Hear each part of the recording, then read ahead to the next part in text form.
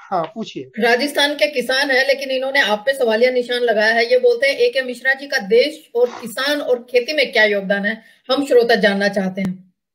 हाँ पूछिए। राजस्थान के किसान है लेकिन इन्होंने आप पे सवालिया निशान लगाया है। ये बोलते हैं ए के मिश्रा जी का देश और किसान और खेती में क्या योगदान है? हम श्रोता जानना चाहते हैं।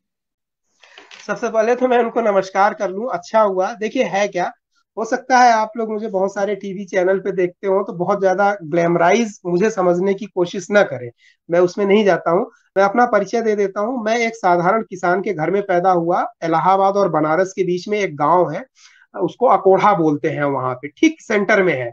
और जब हम पैदा हुए, तब नहर नहीं थी वहाँ पे, सौभाग्य से बिजली केवल मेरे घर थी, सड़कें नहीं थी, पगडंडियाँ हुआ करती थी और चलने के लिए बमुश्किल साइकिल होती थी अदरवाइज़ घोड़े तांगे ये सब चीज़ें होती थी। रही बात किसानों किसानों के मामले में हमारा योगदान क्या है?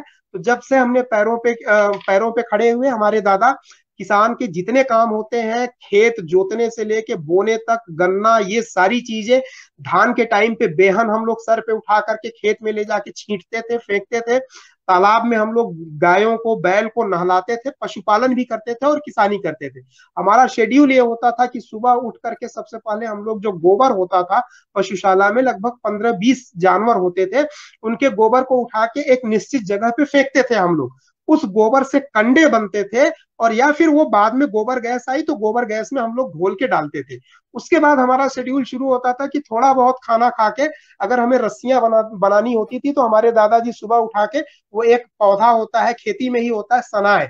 उसको सड़ा करके उससे हम लोग रस्सियाँ बनाते थे अदरवाइज़ अपने अपने जानवरों को लेके हम लोग 12 बजे तक के लिए हमारी ड्यूटी लग जाती थी।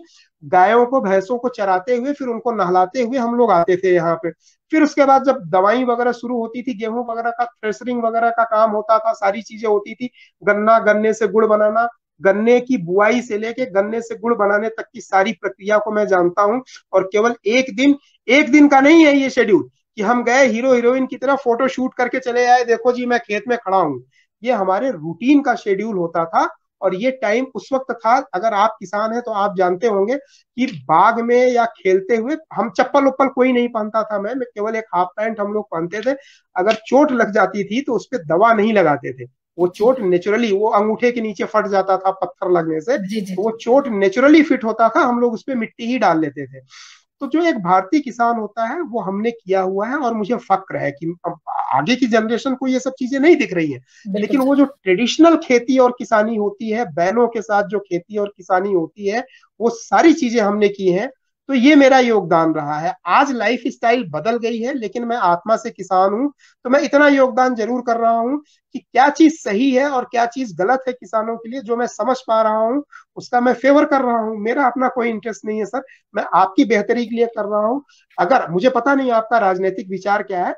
राजनीति से जरा आप हट के देखेंगे तो डेफिनेटली जो बातें हम लोगों ने की है, वो आपके खुशहाली के लिए की है।